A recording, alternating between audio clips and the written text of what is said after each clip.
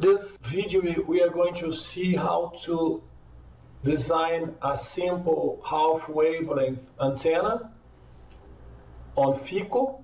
So we basically start in CADFEKO, create a new model.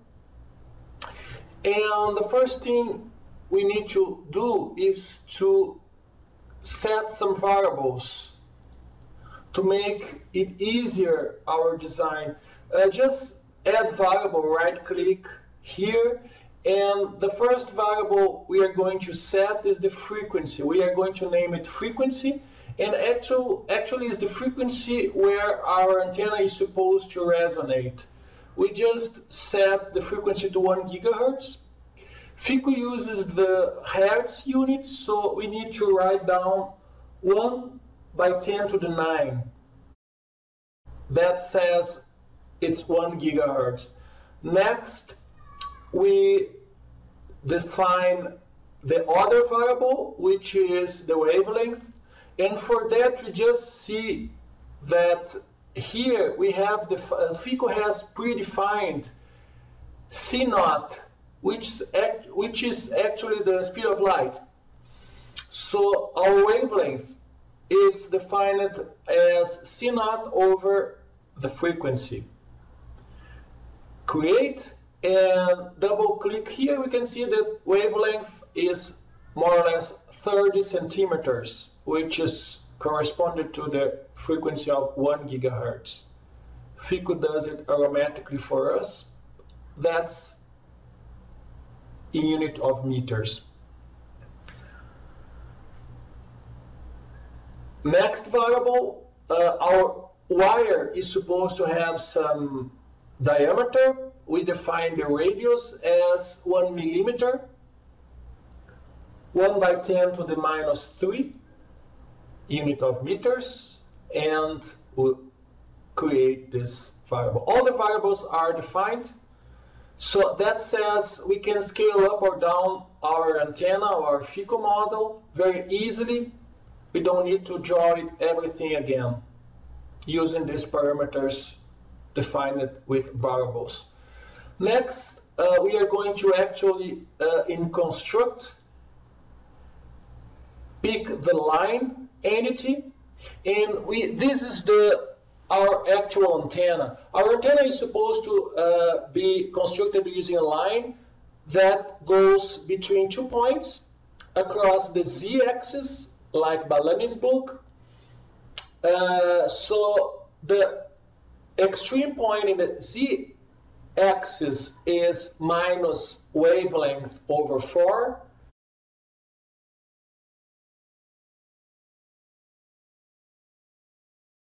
Wavelength is the variable that we just created before. So that says our line has wavelength over 2 length. Later on, we are going to add the radius for our antenna create, and basically it's done. And then automatically it creates this entity called wire.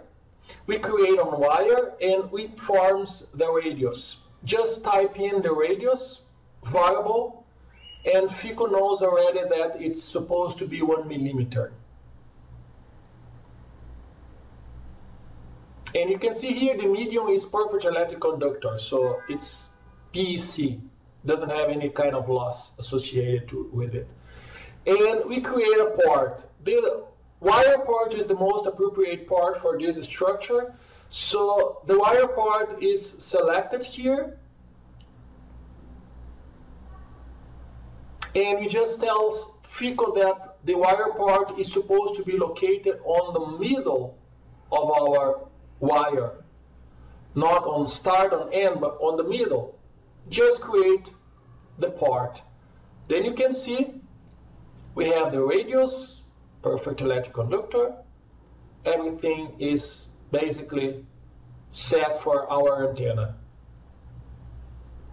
It's a 3D antenna made of PEC, one millimeter radius, lossless. Next thing, we move to source load area and we pick frequency we are going to tell Feko to spread continuous interpolated range from 800 megahertz to 0.2 gigahertz. We have to write down in units of hertz so that our 1 gigahertz stays right on the middle. And Feko knows best where to place the samples of the simulation. Next thing, we pick the voltage source. We tell that our predefined uh, wire part is 50 ohm voltage source so that our S parameters, reflection impedance can be com uh, uh, properly computed. Then we move to request. Request is the actual post-processing phase of Feko. First thing, we ask for a 3D pattern of far field. Next, the near field. The near field is supposed to sample, be sampled along a line, a straight line. As you can see here, we are going to place our line parallel to our, our, our wire and uh, is going to be minus wavelength to plus wavelength one meter away from our antenna as you can see here in this drawing. One thing that was left, we can just hide the far field, far field sphere. One thing that was uh, left, we just need to inform 28 points to be used for the sampling of the electric field on that line in yellow at our left. Next point, we create a mesh. We say that a wire segment, uh, segment radius is uh, radius over 2 or over 3, it depends on the speed of the simulation, and just click on the mesh, mesh is done. Don't need to do anything more. And actually our simulation, our setup is done we can move on to the actual simulation. Before the simulation, it's nice to use the CEM validate to see if there is an error or a warning or a mistake done in our model. Everything is basically correct. Our model is quite simple and everything is green, so it's actually validated. We can move on to the simulation, which is the next step. The next step, we just click on Feko Solver. We just need to uh, save the project, give it any name, and the simulation starts. It takes a while. You can see here, it's finished. When all these bar graphs reach 100%, we can move on to the post-processing phase, the post-processing is reached on POSTFEKO.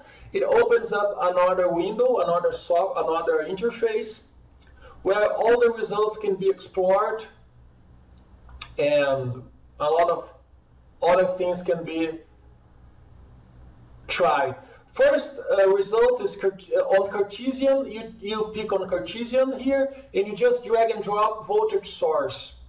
By doing that, actually, we are seeing the impedance results. Here we see the reflection coefficient versus frequency. And we were expecting the antenna to be exactly resonant at 1 gigahertz. Uh, there's a very slight shift, more or less 0.95 gigahertz. And we can see here in dB, it's matched, minus 16 dB, but it's slightly off. So uh, there is actually, the antenna is not supposed to be 0.5 wavelength, but rather it has to be rather uh, 0.48. Uh, but that said, it's pretty much working as expected. Next thing, instead of reflection coefficient, we can see the impedance. And here it's nice because we are seeing the impedance it's much better to move on to the real or imaginary.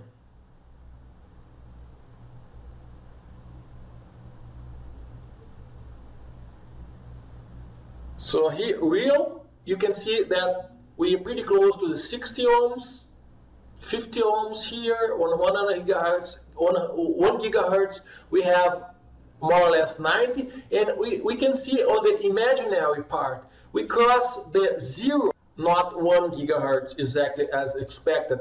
Before that, we have a capacitive behavior. After that, we have an inductive, inductive behavior. So that can be seen also on the Smith chart. Just type in the Smith chart, drag the voltage source, and you can see the behavior of the antenna crossing the real part exactly on the 0.95 gigahertz. That's the other way of seeing the same results given in Cartesian. Here we see both amplitude, the, the, the imaginary and real part at the same time. We can see the near field. We can see the far field here. This is the far field exactly as expected. Is, it has a donut, a toroid shape. Maximum gain 0.75 at 1 gigahertz doesn't change a lot.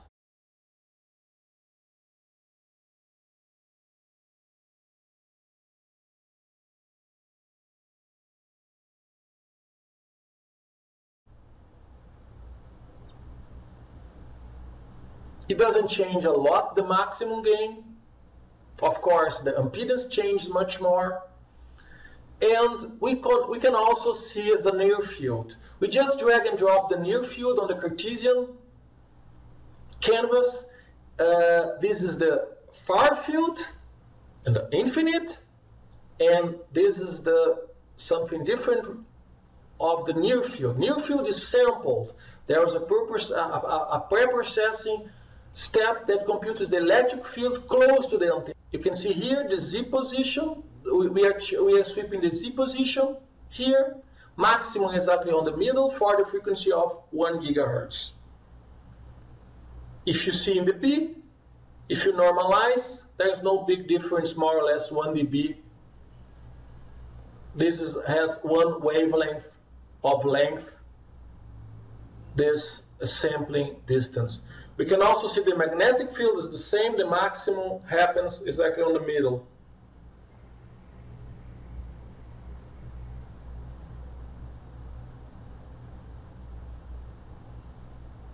So that's everything you can see for a while for our antenna. We can explore and play around. Thank you very much.